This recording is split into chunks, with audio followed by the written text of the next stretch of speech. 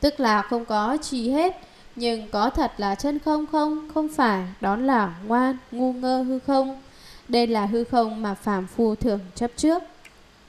Thứ hai là đoạn diệt không. Đó là gì? Là không mà ngoại đạo chấp trước vào. Ngoại đạo không biết ý nghĩa của không. Họ cho rằng người chết rồi là hết. Đoạn diệt luôn cũng là không. Thế nên họ chấp vào đoạn diệt không. Thứ ba là pháp không quán. Người nhị thừa tu tích pháp không quán. Tích cũng là phân tích sắc Tức là sắc tâm Tức là tâm.